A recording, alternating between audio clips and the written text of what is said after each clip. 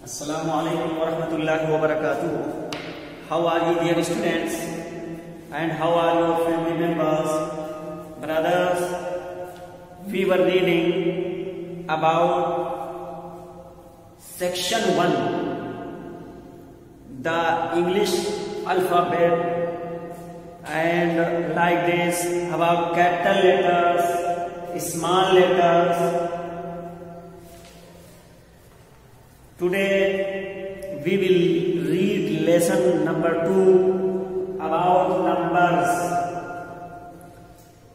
अज़ीज़ तलबा, इससे पहले हमारा, इससे पहले वाले सबक में, यानी सेक्शन वन के तहत जो रीडिंग है, उसके तहत लेसन वन है द इंग्लिश अल्फ़ाबेट यानी हरूफ तहजी के बारे में पढ़े थे और इसके बाद में कैपिटल लेटर्स और स्मॉल लेटर्स के बारे में भी पढ़ा गया था। और अंग्रेज़ी के जो किताबों में जो छापते हैं, उसकी क्या शक्ल होगी, उसके बारे में और जो लिखावट होती है, यानी छपने के कैपिटल लेटर्स और छपने के स्मॉल लेटर्स के बारे में पढ़ा गया था। इसके बाद में लिखने के, यानी जो आप हाथ से लिखते हैं इसके कैपिटल लेटर्स और स्मॉल लेटर्स के बारे में भी पढ़ चुके हैं। और यह भी पढ़ा गया था कि जो लाइनें होती हैं किन हरूफ को किन लाइनों पर रखना है, इसके बारे में अच्छी तरीके से पढ़ा था। आज हमें जो पढ़ना है लेसन नंबर टू है। यानी नंबर्स के बारे में पढ़ना है, गिनती के बारे में पढ़ना है। देखिए किताब में अपने निम्नलिखित संख्याओं को चित्र की सहायता से पढ़ो और याद करो।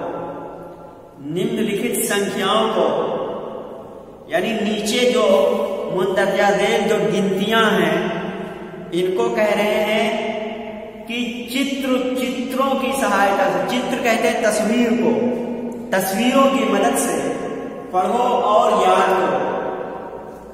देखिए नंबर एक है वन। उसके बाद में है, एक चिड़िया की शक्ल बनी हुई है। तो वन, उसके बाद में चिड़िया की शक्ल है, क्या पढ़ोगे हाँ वन बर्ड क्या हो जाएगा? वन बर्ड यानी एक चिड़िया। और इसके बाद में दूसरी गिनती इन्होंने लिखी है टू टी डब्ल्यू टू लिखा है, और इसके बाद में दो कुत्तों की तस्वीर दिए हैं तो इसको क्या पढ़ोगे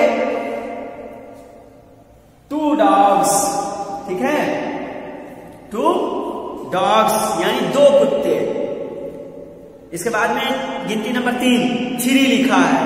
और फिर उसी के सामने जो तस्वीर है, उसमें तीन लैंपों की तस्वीरें दी हैं। तो क्या पढ़ोगे इसे? हाँ थ्री लैंप्स तीन लैंप ठीक है? तीन लैंप और फिर है फोर उसके सामने चार घड़ियों की तस्वीरें बनाई हैं इन्होंने। तो क्या पढ़ोगे? हाँ फोर क्लॉक्स चार घड़िया। फिर फाइव की गिनती इन्होंने लिखा है फाइव उसके बाद में पाँच गेंद की, गेंदों की तस्वीरें दी हैं। तो क्या बनाओगे? क्या पढ़ोगे? फाइव बॉल्स क्या पढ़ना है? फाइव बॉल्स पाँच गेंद। उसके बाद में सिक्स है। और सिक्स के सामने जो जगह है, उसमें छह फूलों की तस्वीरें हैं। तो ये हो जाएगा सिक्स फ्लावर्स छह फूल। सेवन है। फिर सेवन के सामने जो खाना बना हुआ है, इसमें सात कुर्सियों की तस्वीरें हैं। तो ये हो जाएगा सेवन चीयर्स क्या हो जाएगा? सेवन चेयर्स, यानी सात कुर्सियाँ। फिर एट है, और एट के सामने आठ पेंसिल की तस्वीरें हैं। तो यह हो जाएगा एट पेंसिल्स, आठ पेंसिल। फिर है नाइन। नाइन है, और नाइन के बाद में बल्ब दिए हुए हैं। नाइन के सामने जो एक खाना बना हुआ है नाइन ये जो नौ की गिनती है, इसके सामने ये बल्ब है, नौ बल्ब की तस्वीरें दिए हुए हैं। तो ये नाइन बल्ब्स हो जाएँगे। क्या हो जाएँगे? Nine bulbs. और इसके बाद में है टेन। Ten candles.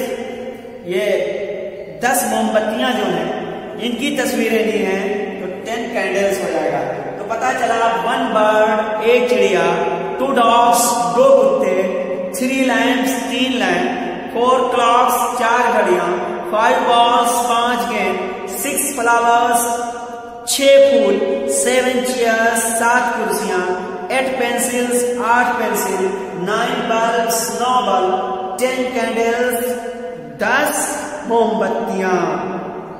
अब ये कह रहे हैं, निम्नलिखित संज्ञाओं को, संख्याओं को पढ़ो और याद करो। कह रहे हैं, नीचे जो गिनतियाँ दी गई हैं, इनको पढ़ना है और स्पेलिंग के साथ इनको याद भी करना है। देखिए, अब 11 है उसके आगे इन्होंने इंग्लिश में लिखा 11 11 12 12 12 तेरह है थर्टीन तेरह, चौदह लिखा है, उसके आगे फोर्टीन यानी चौदह, पंद्रह है फिफ्टीन पंद्रह सोलह है तो सिक्सटीन सोलह सेवनटीन सत्रह एटीन अठारह नाइनटीन उन्नीस ट्वेंटी बीस। तो इन बीस तक गिनतियों के बारे में बताया इनको आपको स्पेलिंग के साथ याद करना है। इसके बाद में एक्सरसाइज नंबर वन देखिए। निम्नलिखित चित्रों को न, चित्रों के नाम और उनकी गिनती लिखो।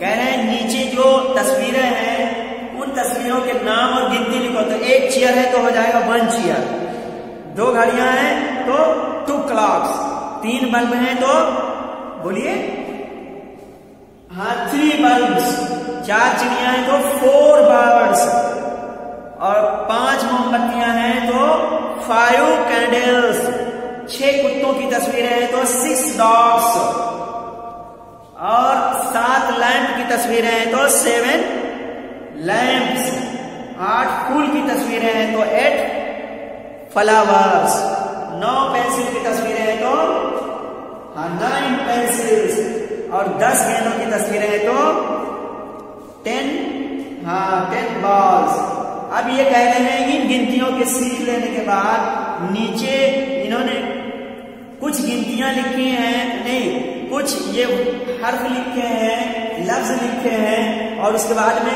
खाली जगह छोड़ दिया है। तो आप गिनती चूँकि आप सीख चुके हैं, इसलिए आपको भरना है। नीचे दिए हुए शब्दों को नमूने के अनुसार रेखांकित स्थान पर अक्षर लिख कर पूरा करो। तो ये देखिए, एक करके बताया वन। अब इसके बाद में एस लिखा है, आखिर में एक्स है और बीच में छोड़ दिया तो क्या हो जाएगा? बोलिए। हाँ तो ये सिक्स हो जाएगा। और इसके बाद में एन लिखा है लास्ट में ई लिखा है। उससे पहले दो छोड़ दिया है, दो हर्फ क्या करोगे? हाँ एल आई एन नाइन और टी है, फिर वो है, बीच में छोड़ दिया है, क्या करोगे? हाँ? हाँ डब्ल्यू तो टू हो जाएगा, दो। फिर एफ़ है और ई है, बीच में दो छोड़ दिया क्या भरोगे हाँ आई बी तो एफ़ आई बी फाइव पाँच. और एफ़ है आर है, बीच में दो छोड़ दिया क्या है? हाँ ओ यू फोर हो जाएगा. और टी है एन है, बीच में छोड़ दिया है, क्या होगा? ई टेन हो जाएगा, बहुत अच्छे. ई है और एच टी है, बीच में दो छोड़ दिया है, क्या करोगे? हाँ आई जी तो E I G S T eight हो जाएगा. और टी एच है और ई है, बीच जगह छोड़ा है, क्या करोगे? हाँ R E three H R double E three और एस बी एन बीच में दो जगह छोड़ा, क्या भरोगे हाँ पहले में ई फिर ई दो तो सेवन हो जाएगा सात तो इन गिनतियों की, इन गिनतियों को याद करना है स्पेलिंग के साथ। कल हम पढ़ेंगे लेसन नंबर थ्री ये एक्सरसाइज भी इसकी कर लीजिएगा। चलिए, आज के लिए बस इतना ही। फिर मिलेंगे आपको कल अगली वीडियो में। और आप लोग इम्तिहान की तैयारी करते रहे। इम्तिहान आने वाला है। और होमवर्क जो दिया गया है आप लोगों को घर में राइटिंग बनाने के लिए उसको लिखते रहिए। अस्सलाम वालेकुम रहमतुल्लाहि